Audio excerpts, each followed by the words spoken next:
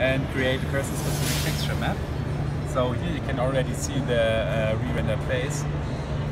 And so we have also control over the texture, so we can add, for example, the SIGGRAPH logo here. Ah. and uh, here you can see uh, the geometry that we uh, um, estimate from the RGB input. okay. And once we have that, so we do the same for a video from YouTube. Yeah.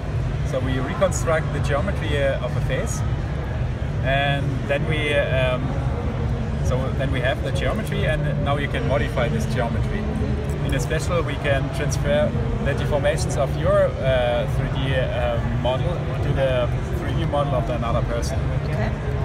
Okay, so for example, here, Arnold. So if you move, open your mouth,